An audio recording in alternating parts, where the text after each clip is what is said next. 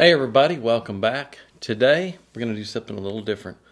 I've had a lot of requests from you guys asking me about my system, specifically asking me about the fact that I've mentioned several times that my system runs mostly off the grid. Most of my gear is battery powered.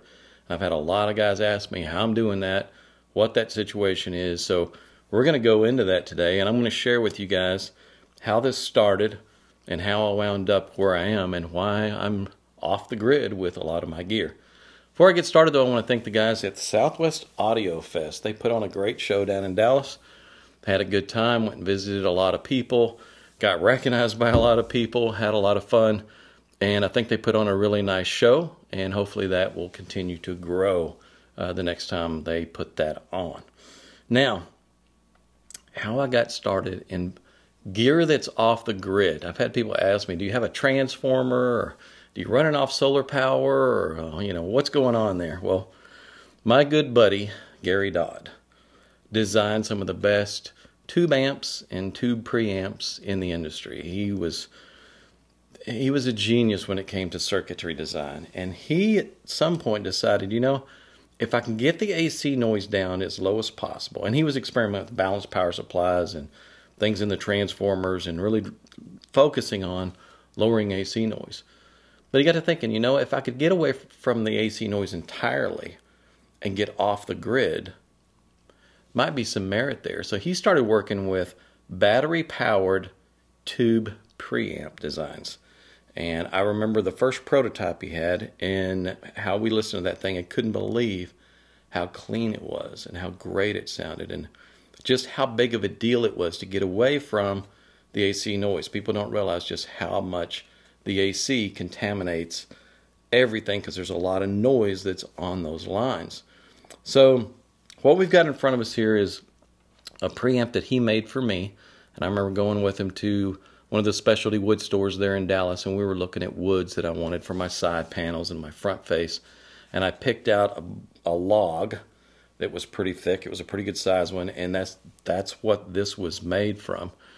And he had done a, a, quite a few of these, and the results were fantastic. And I'm going to take the lid off of this thing, and I'm going to show you what he came up with and how this thing all got started being off the grid. So he figured out a way to take a 24 volt supply and ramp up the voltage from 24 volt DC to uh, 300 something volts AC running these tubes. And what, what we've got here is there's a pair of tubes, and the circuitry that he comes up with for the tubes is potted in a little pot right below the tubes so that you can see the secret sauce. And this little ingenious version here, what it does is it has two on switches. It has an on in one direction and an on in the other direction. Ooh, how about that? That thing's freaking out the camera with the uh, the little RF signal there. I don't know if you guys could hear that in the audio. Ooh, that does freak out the camera. So, all right, let's don't do that. Um, when you turn it on to one direction, what you're doing is you're running on two of these 12 volt batteries, and these are um, a 5 amp hour battery. So you got them in series. You're running 24 volts, and when you're in the on position, position on this side, the charger's automatically charging the other batteries. Then let's say you run these batteries down to a point where the batteries are getting low, you switch it to the on position on the other side, and now you're running off of this bank of batteries while this bank is charging. So you pretty much have continuous use all the time. Well, one of these one of those days there, Gary decided that instead of running it like he has it there where he's got two different groups, he series paralleled the whole group. So you still got 24 volts, but instead of running on two batteries, you run on four batteries. So you got a lot more battery power there, twice the juice. Um, and it sounded better. I mean, it, it, it sounded notably better. The dynamics picked up even more. Um, it was just fuller and more, had more drive just by having the extra group of batteries on there, which got him thinking, okay, using a bigger battery and more batteries started, you know, clearly sounded better. So he started experimenting with an external battery and then doing away with these and doing something that's external. And then you start experimenting with a design that was purposely built and designed to run on 12 volts. And that's where we wound up with this one. In fact, we're going to pause here and I'm going to move this and we're going to bring this gear over and some amps and we're going to talk about where this went. So hold on. All right, a little different set of gear here.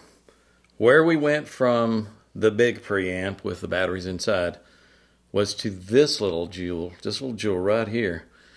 This was a preamp that's a two preamp designed to run just on 12 volts only. And I'm going to try to slide the lid off of it here. And there were some other little tweaks that went into this little design as well.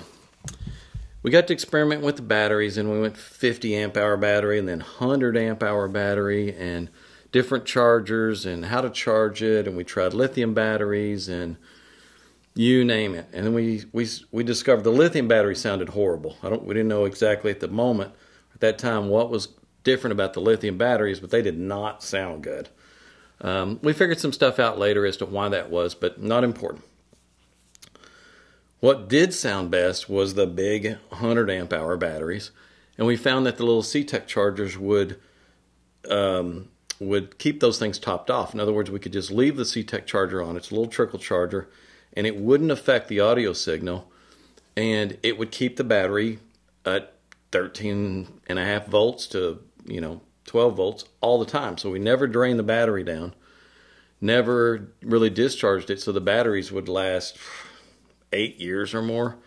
Um, and a 100 amp hour battery, that's a big battery. It's a 50 something pound battery, maybe 60 pound. It's heavy. Um, they're like 225 bucks, cheaper than a power cord. And that plus the CTEK charger, and you're good for a long time. So the battery issue is a non issue, and it does offer a lot of improvements as far as getting stuff off the grid. Now, this one is a single tube, it's a single 6H30 tube. And as you can see, some goodies in there. There's some Miflex copper foil caps in the signal path there that are the output coupling caps and there's some big Teflon caps that are coupling caps. This one has three inputs and it has three outputs on it. So I can do a main pair of mono blocks and four servo subs off of this thing, and I can send full range signal to the subs and limited low frequency signal to um, to the main speakers if I want. So that's where we went with this thing, and it again it got various tweaks, and we wound up using naked Vishay resistors and all kinds of crazy stuff. And the secret sauce, the secret circuit is potted under the tube. So Gary kind of kept that to himself. And when we went to the show last at uh, Rocky Mountain Audio Fest, and oh, it's been several years back, we had some big open baffle line sources we did for Mockingbird Audio, and we were driving it with this system, which was completely off the grid. Uh, we were using a DB Audio Labs DAC at the time. I think that actually was on the grid. And then we were using these tube amps. These are 30 watt monoblock tube amps that are battery powered. So we had an, the entire system minus the servo subs and the DAC off the grid at that time. Even the Mac Mini that we were using was off the grid, and I'll get to that in a minute.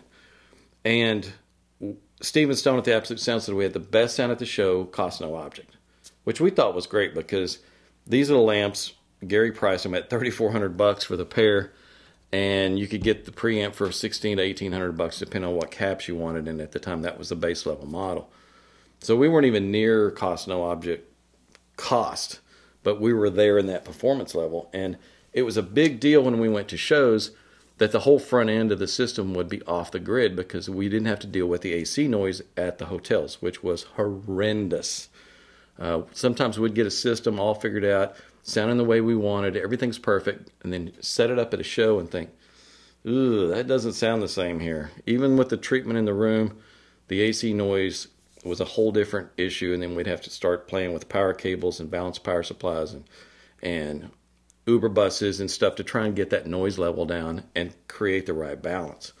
Um, the 30 watt tube amps, I don't use them very often in the system. They're kind of a standby. I've got a lot of other amps that I use, a 300B, some chip amps. Most of the whole amplification system on my system is on the grid. It uses power and it does use power through an Uber bus and some of it through a balanced power supply, also built by Dodd Audio. So the the amplification needs power. It needs to be on the grid. Unless you're using these little amps here, which 30 watts battery powered sounds really good. It really does. Um, but when you need a little more juice than that, it's it's hard to get big amplification off of a battery. It doesn't last very long. But if you can drop the whole front end, uh, all the noise level down, it's amazing what happens. So in my system, first off, all the music is controlled by a Mac Mini. Now, the reason I have a Mac Mini is because it beat the crap out of my CEC transport back in the day. I had one of the top of the line transports to an external DAC, and my buddy showed up and they said, "Hey, Danny, check out this little Mac Mini. We're gonna we're gonna burn a CD to the Mac Mini, and then we're gonna compare the Mac Mini to your CEC transport go into the same DAC." Well, the Mac Mini crushed the CEC transport. I mean, all the jitter fil- jitter error and everything along with trying to read a disc was all gone, and it really sounded better. So the very next day, I ordered a Mac Mini and I sold the CEC transport for over twice what the Mac Mini cost. So I upscaled and made money. Never looked back. Then wound up getting a newer Mac Mini, and my guys in that little digital realm began doing modifications. They began um, maxing it out with gaming RAM, solid state hard drive, um, shutting down things in the operating system that didn't need to be shut, you know, didn't need to be running, and things like that. And the thing about the Mac Mini was it it ran on a 12 volt supply. It had a 12 volt switching power supply internal. Now that's a lot lower voltage than a lot of the other computers out there. Most computers, streamers, or something, most of them are running on uh, 18 to to 19 volts. That's what your laptop's running on. The fact that the Mac Mini was a low voltage design already meant that it had less noise within the system. Then we wound up removing the switching power supply from the Mac Mini and replacing that with a connector on the back that let us plug it into a battery.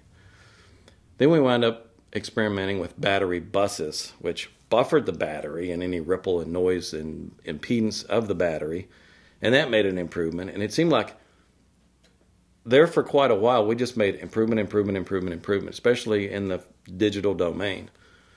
And it came a long way. All, suddenly, digital began to sound like analog almost. It was amazing, and I'm still using that highly modified Mac Mini running on a big 100 amp hour battery. That's that's where it starts. Then it goes to this DAC. Now my DAC is a prototype that some guys from the DB Audio Labs and other companies use this as a test bed. Dave Elledge used it, and we put a battery bus in it. Gary Dodd got a hold of it. It's got his output stage on it. It's it's based on a 24-bit Wolfson chipset, but everything about it is different. There's an I2S direct input, and that's the only input that's on this thing. So people are always asking me, "What DAC do you use?" Well, it's a one-off custom DAC, and it's still my favorite. And I've had a lot of DACs in here, including a lot of DACs from Denafrips, uh, the Holo May DAC. This is still my favorite DAC. It's still in the system, and it runs on an external 12-volt battery. So we got Mac Mini to the DAC, all off the grid, then to my battery-powered two preamp, all off the grid. So low noise floor, clean sound, good dynamics, good resolution, good everything. We're not creating noise that the amplifier is then having to amplify. So anytime people come to to hear to my house, they listen to my system, of the first things they say is, "Wow, the noise floor is just gone. Can't believe how." How quiet it is between notes and space between notes, and how much that affects the imaging and the layering and things like that. So, all of that was a progression to get to this point, and some of it kind of happened by chance. A lot of it has to do with Gary Dodd and what he was able to do, and that's where I've ended up. And until something better comes along, that's where the system's going to be. I'm always open to try everything that comes in the door, but I always go back to this off the grid system. To me, that's what sounds great. So, no, I don't use any power inverters and things like that. I don't know of any gear out there that's designed to run on 12 volts. I'm just a little bit of a uh, maybe a little esoteric in that way. Um, I, I've I've helped with the development of some of these products that are designed to be run on 12 volts. I wish more companies would do that. I know a lot of them are hesitant to have a 100 amp hour battery sitting there in someone's house. These are AGM batteries. They don't outgas anything. They're sealed lead acid batteries. So it's no big deal to have them in the listening room. You can put them in a decorative box if you want. They're, that's not an issue. But anyway, that's how it all works. And if you have any questions about running systems off the grid, or if you have any questions about my system and specifically, throw them in the comments section. Um, thank you for all the questions about this, and I hope this answered a few of those questions. And that'll be all for this episode. See you guys in the next one.